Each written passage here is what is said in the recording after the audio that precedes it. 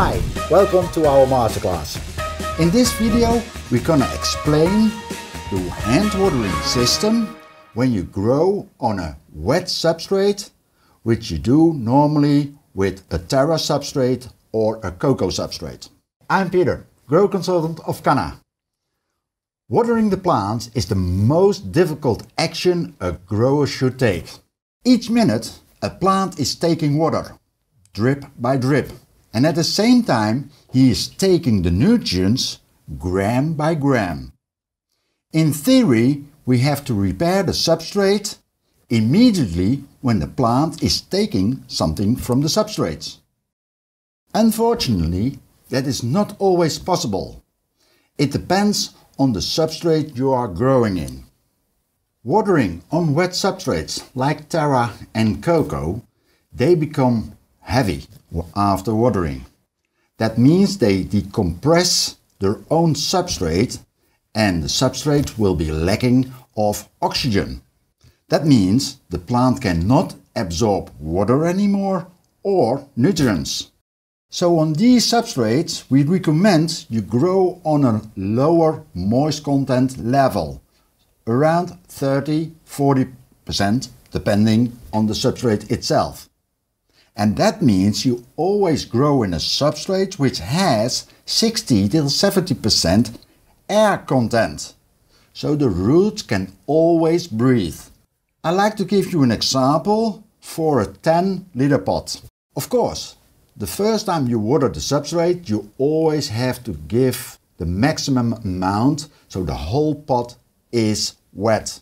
For a Terra mixture, it means a 10 liter pot will go to 70%, so becomes 7 kilo.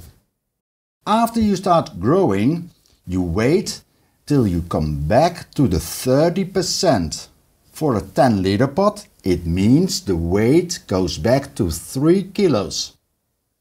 And from now on we start to water the plant.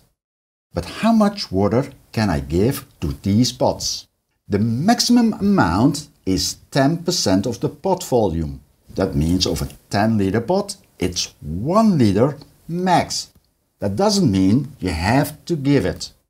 For example, we give 600 milliliters. That means 3.0 kilo becomes 3.6 kilo. After two days you want to water again. You lift the pot, you weighed it and it is still 3.1 kilo.